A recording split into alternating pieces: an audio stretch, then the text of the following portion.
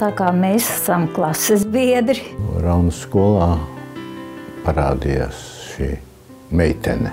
Tāda nu, pirmā tikšanās, pirmo reizi man pavadīja uz māju žetonu vakarā. Žetonu vakarā kaut kā ilgāk droši vien iznāca padējot. Līdz tam tā bija, ka man draudzene pateica, ka tam Jānim tā kā es patīkot. Es pati tā skatījos, izskatīgs puisis, bet nu, nekādu vērību nepiegriezu, tikai domāju, ka viņš runājot ar citām meitenēm, viņam bija tāda mode aplikt roku ap pleciem, bet ar mani runājot nekad. Milzīgi pareizi, man liekas, tagad domājot. Aprecējāmies 23 gadu vecumā, bija ilgs tāds draudzības un cerēšanās laiks. Sievas māte teica, ka pietiek draudzēties un vajag precēties.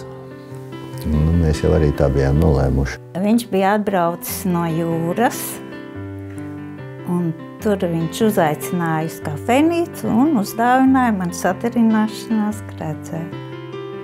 Un tas gredzēns man derēja visu, gadu, visu laiku līdz šim brīdim.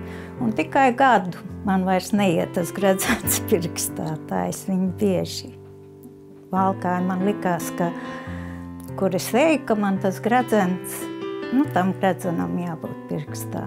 Kā jūs raksturot savas attiecības, neminot maģisko vārdu mīlestība?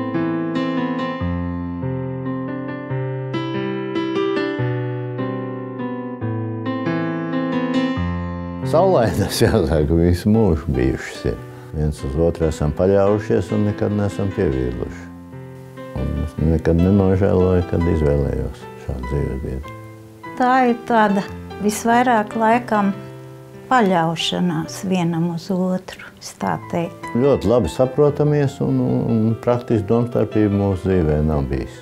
Visu mūžu droši viens par otru, ka varam paļauties, ka tad kad būs grūts brīdis, ka viens otru mēs neatstāsim. Ko jūs redzat, ieskatoties sava mīļotā acīs?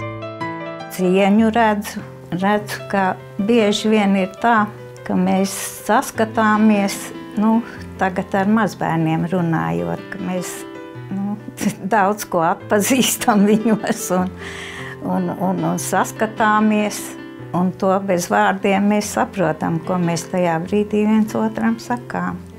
Nu, ka pareizā izvēle bijusi. Pareizā un vienīgā.